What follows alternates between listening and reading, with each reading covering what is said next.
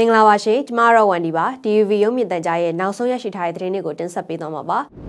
AR တိုင်းရေကြီးနဲ့တာပေါင်းမြို့နယ်မှာငဝုံမြစ်ရေမြင့်တက်လာတဲ့အတွက်ရေနစ်မြုပ်တာတွေဖြစ်ပေါ်နေပြီးစာတင်ကျောင်း62ကျောင်းပိတ်လိုက်ရတယ်လို့တိုင်းပညာရေးမှူးရုံးနဲ့နှိဆက်သူစီကနေသိရပါဗျ။ငဝုံမြစ်ရေမြင့်တက်လာတဲ့အတွက်ရေကြီးရေရှမ်းတာတွေဖြစ်နေပြီးရေကြီးမြို့နယ်ကစာတင်ကျောင်း36ကျောင်းနဲ့တာပေါင်းမြို့နယ်ကစာတင်ကျောင်း25ကျောင်းကိုဇူလိုင်လ23ရက်နေ့နဲ့24ရက်နေ့ကနေစတင်ပြီးပိတ်လိုက်ရတယ်လို့သိရပါဗျ။ တာပေါင်းဘက်ကအကြောင်းဒီမှာ23ရက်ကနေစတင်ပိတ်ကရေကြီးဘက်မှာတော့24ရက်နေ့ကနေစတင်ပိတ်တာဖြစ်ပါတယ်။ရေကြီးရေရှမ်းတာဖြစ်ပြီးကျောင်းတွေကိုရေဝင်လာလို့ပိတ်လိုက်ရတယ်လို့တိုင်းပညာရေးမှူးရုံးနဲ့နှိဆက်သူတွေကပြောပါတယ်။မြည်ရည်မြင့်တက်ဝင်ရောက်လာမှုကြောင့်တာပေါင်းမြို့နယ်တွေကအထက်တန်းကျောင်း2ကျောင်းမူလာတန်းကျောင်း19ကျောင်းအလဲတန်းကျောင်း4ကျောင်းနဲ့ရေကြီးမြို့နယ်တွေကအထက်တန်းကျောင်း2ကျောင်းမူလာတန်းကျောင်း26ကျောင်း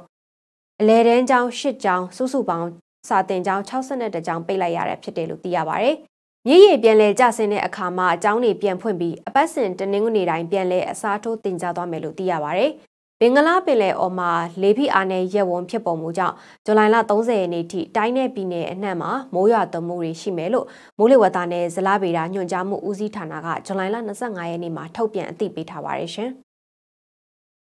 ရခိုင်ပြည်နယ်တောင်ပိုင်းကတန်တွဲမြို့နယ်၊ဂွားမြို့နယ်နဲ့တောင်ကုန်းမြို့နယ်တွေမှာမိုးသည်ထန်စွာရွာသွန်းမှုကြောင့်ရေကြီးရှည်မှုတွေဖြစ်ပေါ်နေတယ်လို့ဒေသခံတွေကပြောကြပါဗျ။ဇူလိုင်လ24ရက်နေ့နေ့လယ်ပိုင်းကနေစတင်ပြီးရေတက်လာတာဖြစ်ပြီးတော့တန်တွဲမြို့နယ်တောင်ကုန်းမြို့တွေရဲ့မြို့ရဲ့စိုးရင်ရေမက်ကိုရောက်ရှိလာက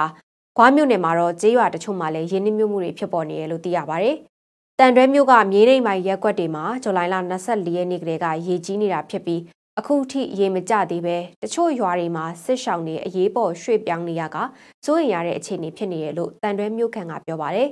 ။တန်တွဲမြို့အန်တော်ရက်ကွက်မှာရက်ကွက်တစ်ခုလုံးနီးပါးရေနစ်မြုပ်နေပြီးနေအိမ်တွေလည်းရေနစ်မြုပ်နေသလိုနန်တော်ပြင်၊နက်ပြင်၊ချံပြင်နဲ့လက်ပံစုကျေးရွာတွေမှာလည်းရေနစ်မြုပ်နေရလို့သိရပါတယ်။ခွားမြို့နယ်ကနသာမြိုင်ဘဝင်နဲ့ကလပြင်ကျေးရွာတွေမှာလည်းရေကြီးနေပြီးဒေသခံတွေကကုန်းမြင့်ပိုင်းတွေကိုရွှေ့ပြောင်းနေရတယ်လို့ခွားမြို့ခံကပြောပါတယ်။ ဒါအပြင်တောင်ကုန်းမြို့နယ်မှာလည်းဇူလိုင်လ25ရက်နေ့မနက်ပိုင်းကချောင်းရည်မြင့်တက်လာတာကြောင့်မြို့ပေါ်ရက်ကွက်တွေမှာရေနစ်မြုပ်လာပြီလို့သိရပါဗျ။လက်ရှိရေကြီးနေတဲ့မြို့နယ်၃ခုဟာစီရေးပြင်းထန်နေတဲ့မြို့နယ်တွေဖြစ်ပြီးတော့ဒေသခံတိတ်နဲ့ချီနေရဆုံးခွာနေရတာလည်းဖြစ်ပါတယ်ရှင်။ရန်ကုန်တိုင်းအတွင်းတာကေတာမြို့နယ်အပါအဝင်ဒေါဘုံဒဂုံစိတ်ကန်းရွှေပြည်သာနဲ့တင်ငန်းကျွန်းမြို့နယ်တွေမှာဝမ်ပြက်ဝမ်လျှော်ယောဂဖြစ်ပွားသူတွေထပ်မံတွေ့ရှိလာပါတယ် တာကေတာမြို့နယ်မှာတော့လမ်းဘေးဆိုင်တွေဇူလိုင်လအကုန်ထိပိတ်ခိုင်းထားတယ်လို့သိရပါတယ်။တွဲသစ်သတင်းပေးပို့ထားတာပါရှင်။အစားအစာများကိုရှင်တော်ပေါ့ချင်းရန်ကုန်တိုင်းအတွင်းတာကေတာမြို့နယ်အတွင်းမှာဝမ်ပြက်ဝမ်ရှော်ယောဂဖြစ်ပွားသူတွေတွေ့ရှိနေသေးတာကြောင့်အစားအသောက်ရောင်းချတဲ့ဈေးဆိုင်တချို့ကိုဇွန်လလကုန်ထိပိတ်ခိုင်းထားတယ်လို့မြို့ကန်တွေစီကနေသိရပါဗျ။လက်ရှိမှာတော့ကျမရေးဝန်ထမ်းတွေပါဝင်တဲ့အဖွဲ့တွေရက်ွက်တွေအတွင်းဆေးဖြန့်တာတွေကလိုရင်းဆေးလိုက်လံဝေတာတွေကျမရေးအတိပေးလိုက်ပြောတာတွေရှိတယ်လို့မြို့ကန်တွေကပြောပါတယ်။ အမှန်တိုင်းပြောရရင်တော့ဒီကူးဆက်ယောဂဆိုရင်ကိုကလည်းငကိုရဲအမလေးကြောက်တက်တယ်အရန်လန့်နေရလေရှင်းလို့ပြောရင်တော့အခုကတော့လူတိုင်းကတော့အပြင်စားမကင်းဘူးလေအမတို့ဆိုလေဘာပဲဖြစ်ဖြစ်အလိုမျိုးအတုတ်တို့ပါလို့ဆိုလေဒီဈေးတွေကတော့စားမိရပေါ့လေနော်အိမ်မှာလည်းအမတူမလေးရရှိတော့ဂယူးဆိုင်ပြီးတော့နေနေရတာပဲကလေးတွေပါရှိတော့လေနိတချို့ဆိုစေးုံနေအောင်နဲ့တော်တော်များနေလို့ပေါ့နော်လက်မခံနိုင်တော့တဲ့အနေအထားဖြစ်နေတာလေဆိုတော့အမတို့ဒီမှာအမှန်တိုင်းပြောရရင်အခုအနေထားနေက အဆင်ပြေဖို့တော်တော်ခေးရင်းနေပြီးတော့လေဒီမှာကူးဆက်စေုံမရှိဘူးပေါ့နော်အဲကူးဆက်စေုံကအဲ့လိုတင်ရမယ့်ကူးဆက်စေုံဆိုတာမရှိနေဘူးတဲ့မရှိနေတော့အခုရန်ကုန်စေုံလို့ဘာလို့မာတော့တင်နေရတယ်လို့တော့အမကြားတယ်အမေတော့ကြိုးချက်တော့တောက်ရင်တော့ရတာပေါ့အမေအခုအနေထားနဲ့ဆိုနီးရမလာတာနဲ့တုံတုံဝကူးဆိုင်ဖို့ဆိုတာတော့တော်တော်တော့ခေးရင်းနေအနေအထားဖြစ်နေရလိမ့်နော်2024ဇွန်လပထမပတ်ကစတင်က ဒေါပုံမြို့နယ်မှာကာလာဝန်ရောဂါစတင်တွေ့ရှိခဲ့တာဖြစ်ပြီးအဲ့ဒီနောက်တာကီတာမြို့နယ်အပါအဝင်ရန်ကုန်တိုင်းအတွင်းကမြို့နယ်6မြို့နယ်လောက်မှာဝမ်ပြက်ဝမ်ရှော်ရောဂါဖြစ်ပွားသူတွေအယောက်300ထပ်မံတွေ့ရှိခဲ့တာပါ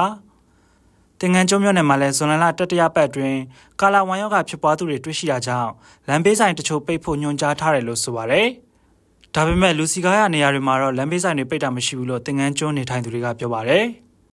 အမကြီးတို့ကကြတော့တင်ကန်းကျော်စံပြရက်ကွက်စံပြရှစ်လမ်းထဲမှာနေရပါတော့အဲသူတို့ကအခုလောလောဆယ်တော့မနေ့ကနှစ်ယောက်စီးရုံတင်ရတယ်လို့ကြားတယ်အာမနက်7နာရီပတ်ချလဲမှာအမားတို့တိုက်တွေကိုစီးပြားလေးတွေလိုက်ဝေရပါတော့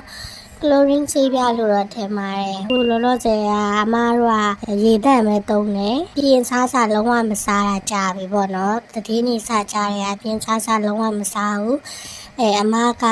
ရေတန့်ကြိုတင်စူးစောင်းထားတဲ့လူဆိုတော့အဲလက်တလုံးမှာတော့တောက်ရီကိုရေတန့်နေ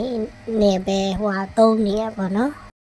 ပုံမှန်ဝမ်းပြက်ဝမ်းလျှောယောဂဆိုရင်စိုးရင်စရာမရှိအချိန်မီကုသလို့ရပေမဲ့ပြင်းထန်ဝမ်းပြက်ဝမ်းလျှောယောဂဆိုရင်ကုသမှုမရှိအောင်ရေကိုကြိုချက်တောက်တာလက်ကိုအစာမစားခင်နဲ့အစာစားပြီးချိန်နဲ့စနစ်တကျဆေးကြောပေးရမယ်လို့ဆရာဝန်တွေကပြောပါတယ်ဒီဝမ်းပြက်ဝမ်းလျှောယောဂကိုကုသတဲ့အခါမှာရေဓာတ်ခန်းချောင်းမှုကအရေးကြီးတယ်ဆိုတော့ အဲ तू ကအဓိကတော့ဓာတ်စားပေါ့နော်ဓာတ်စားကိုတော့ဖြစ်နိုင်ရင်အဲ BPI ဓာတ်စားကိုပဲအဲကျွန်တော်တို့ကဖြော်တော့အောင်ပဲပေါ့နော်ဆိုတော့ဒီကာလာဝမ်းလိုဟာမျိုးပြင်းထန်ဝမ်းပြက်ဝမ်းလျှောဆိုရင်ဓာတ်စားပူပြီးတော့များများတောက်ဖို့လိုတယ်ပေါ့နော်ဒီထက်ပိုပြီးရေဓာတ်ခန်းချောင်းမှုပိုဆိုးမယ်ဆိုရင်တော့ဓာတ်စားနယ်မရတော့ဘူး तू ကအဲ့ကြရင်တော့အကျော်စေးပေါ့နော်အကျော်တွေကိုပလင်းတွေချိတ်တယ်ခေါ်တာပေါ့အရက်ထဲမှာတော့လေရေဓာတ်တွေအဲဒါဆုံးရှုံးသွားတဲ့ရေဓာတ်တွေကိုပလင်းတွေပါနေပြန်ပြီးတော့ဖြည့်ချိတ်ပြီးတော့ဖြည့်ရမှာဖြစ်တယ်ပေါ့နော်အဲပြီးတော့နောက်တစ်ခုကတော့ဒီဇင့်ပေါ့နော်ဇင့်ဆိုတဲ့ဒီ ဟိုဆေးဝါးကိုလည်းထည့်ပြီးသုံးမယ်ဆိုရင်တော့ပို့ပြီးတော့ဒီ one jet one shot အတွက်ကောင်းတယ်အဲအဓိကကတော့ပြောရမယ်ဆိုရင်တော့ကုသတာတော့ဓာတ်စားပါပဲရန်ကုန်တိုင်းတွင်တာဂီတာမြို့နယ်မှာတော့ဝမ်းပြက်ဝမ်းလျှောယောဂစတိုက်ဖြစ်ပွားနေတာကြောင့်တောက်ရီကန်တွေကနေရေခတ်တာအဲ့ဒီရေတွေကိုပြန်လည်ရောင်းချတာမျိုးမပြုလုပ်ဖို့အမိန့်ထုတ်ထားကြောင်းသိရပါတယ်။ဇွန်လလပထမပတ်ကစလို့ဇွန်လလ9ရက်နေ့ထိ9ရက်တာအတွင်းတာဂီတာမြို့နယ်မှာဝမ်းယောဂနဲ့တည်ဆုံသူ9ဦးထိရှိတယ်လို့ဒေသခံတွေကပြောဆိုပါတယ်။ ဒါပေမဲ့စစ်ကောင်စီလက်အောက်ခံကျမရေးဝန်ကြီးဌာနကတော့လက်ရှိအချိန်ထိဝမ်းယောဂကြောင့်တည်ဆုံလူနာမရှိသေးဘူးလို့ထုတ်ပြန်ထားပါတယ်ခင်ဗျာ။ကျွန်တော်ဇွဲတစ်ပါ DVB ရုပ်မြင်သံကြားရဲ့နောက်ဆုံးရရှိထားတဲ့သတင်းတွေကိုတင်ဆက်ပေးခဲ့တာပါအားလုံးကျေးဇူးတင်ပါတယ်ရှင်ဒီမှာကတော့ဝန်တီပါ